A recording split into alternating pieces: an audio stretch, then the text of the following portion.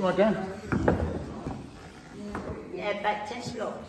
So, Kevin, I'll put um, these toilets in Jaywick big time. People won't visit Jaywick if they can't have access to toilets. Rubbish needs picking up. What did you say, Joe, needs to be done? Me, You said about rubbish or bins. rubbish needs to be picked up. How People about- need to stop fly tipping. I know fly tipping. I'm not mentioning their names. So, what? People need to stop fly tipping.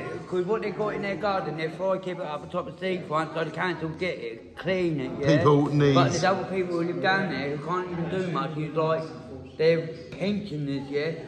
Struggling doing it themselves and people mugging them off, ripping them off money, mate. Charging them like three, four hundred pounds. So what? But so basically, people are charging people in Jaywick 300 quid to remove the rubbish, then they're just putting it on top of the sea wall. Yeah. Danny, you hearing all this?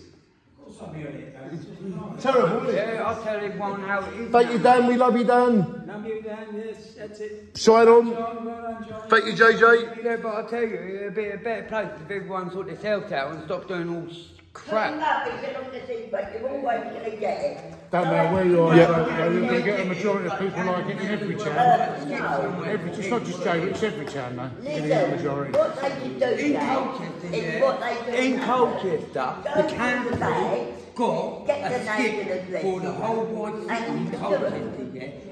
We get Everyone's it. chucking their No, rubbish in in that Hampton, skip. we've done that in You can go Hampton. there now, Yeah. take Now it go out, to it's the rubbish. bags. I get two, three hundred pound fine. Fine.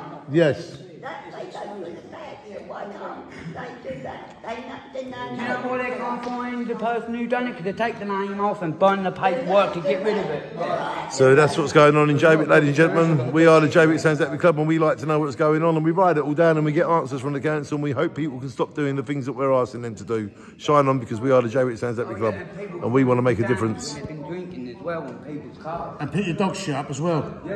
It's not nice.